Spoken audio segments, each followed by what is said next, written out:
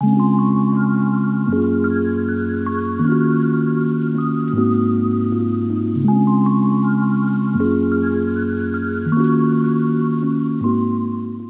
guys, welcome back to my YouTube channel. In today's video, I want to share some tips and advice on how to maximize your study time while you're in your dedicated time for step one. These are the tips and advice that I used during my step one prep and I figured these out through trial and error, figuring out what works for me and what doesn't. I have been receiving many emails and messages on Instagram from students asking me how they should go ahead and schedule their day for step one prep and how I recommend to study for step one. I do also want to add that everyone studies in their own way, so it's just a matter of putting in the time and figuring out what works for you.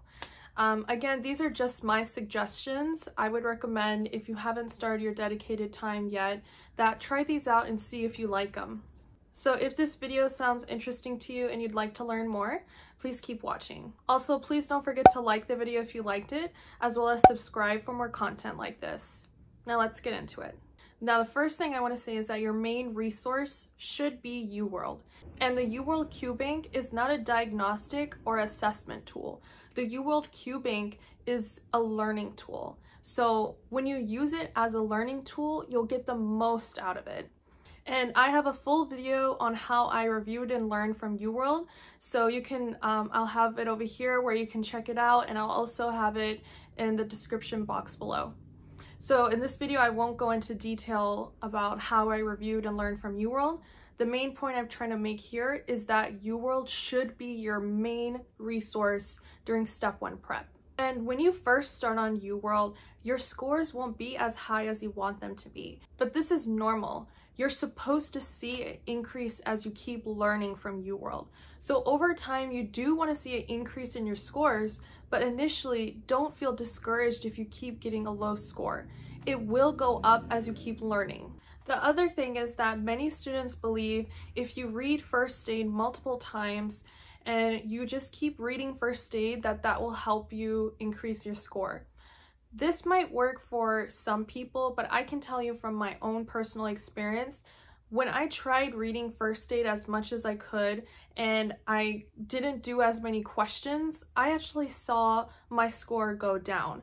So I automatically knew from that that reading from first aid and trying to read as much as I can from first aid was not going to help me in the long run. So instead, I I shortened the time I read first aid to an hour to an hour and a half.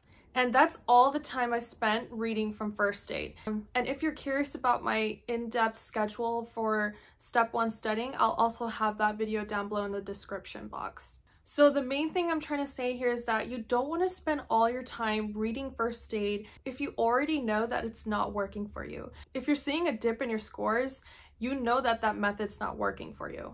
So the reason I'm bringing this up here in this video is because how you study for your medical school exams and how you study for step one prep is totally different.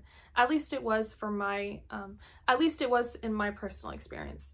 So for example, for me, when I would study for my medical school exams, I would take the time and read the lecture notes, understand the material with textbooks if needed to be, and I would then go ahead and review my notes that I took and also um, and also review the notes that I took and I would rarely ever do questions. And I didn't learn till later towards the end of my basic sciences before I started my dedicated period that learning from questions is actually way more beneficial rather than learning from lecture notes and any notes that you may have written. So when my dedicated time came around, I knew right away that the main way I wanted to study for step one was through UWorld. I was gonna do as many blocks as I could in the morning, afternoon time, and then evening time, I would take the time and do my cycling method, which I also have a video on. I'll have it in the description box below.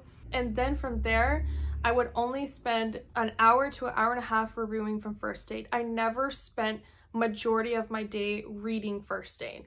And that's because I found through trial and error to maximize my time while I was studying for step one that the best way for me to do that was to learn from UWorld.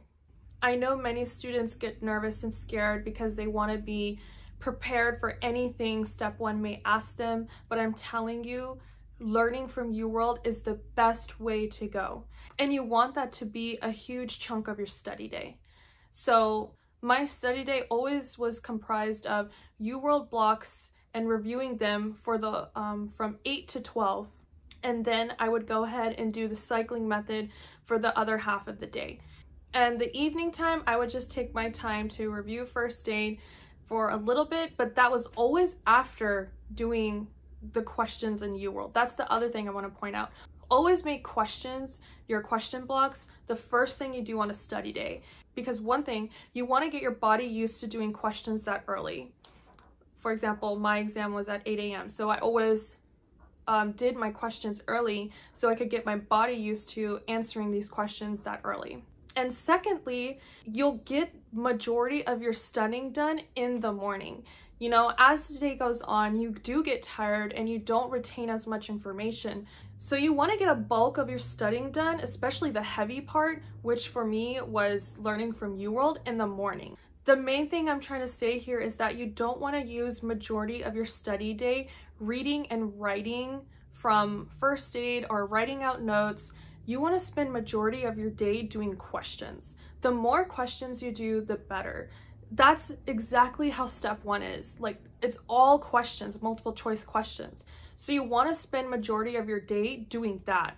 And UWorld will teach you how step one will present these questions. It'll teach you how to answer these step one questions. So it's honestly the best way to go for step one prep.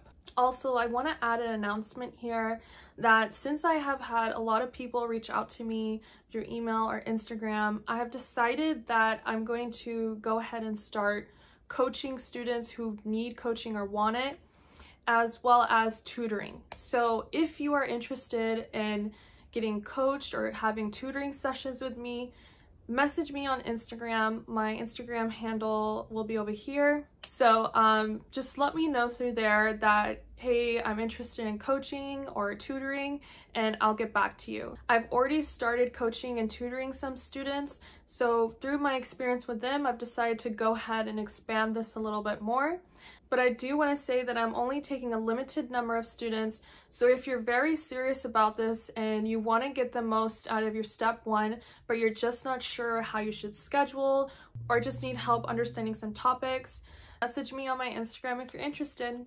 Anyway, thank you for watching this video. I hope you guys found this video helpful and interesting. Remember, everyone learns in a different way and how we studied for a medical school finals versus step one is going to be different. So you want to find what works for you. And I hope this video helped you in figuring that out. Thank you for watching and I'll see you in my next video.